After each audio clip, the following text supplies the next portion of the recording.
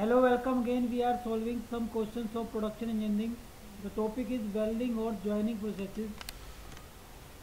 Question number 27 from GATE 2013 ME is match the correct pair processes, characteristics or application. Uh, first column is friction welding, Q gas metal arc welding, R tungsten inert gas welding. S electro slag value and second column is characteristics और application one non consumable electrode two joining और thick plate three consumable electrode pair and four joining of cylinder the method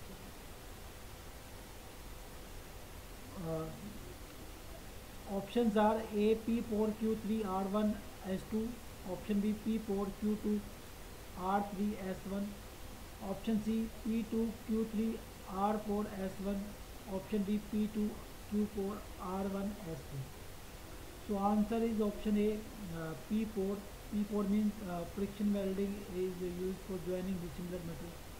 So friction welding is used for joining dissimilar metal, that is correct.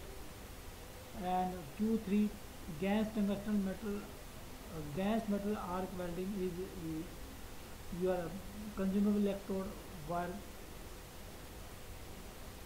Okay, so gas metal arc welding. Um, uh, in gas metal arc welding, the electrode is used. Uh, electrode uses as a positive terminal, and the work and the negative electron strikes on the positive terminal and then they heat. Okay.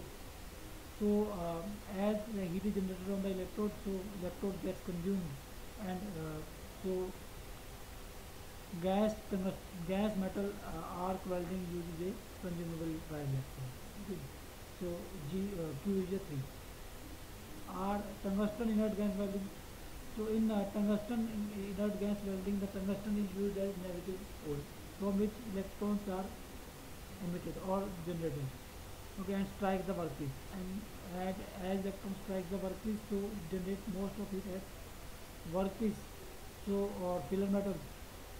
So it gets consumed So workpiece gets consumed but uh, electron doesn't get consumed so electron uh, is used as electron is used to tungsten.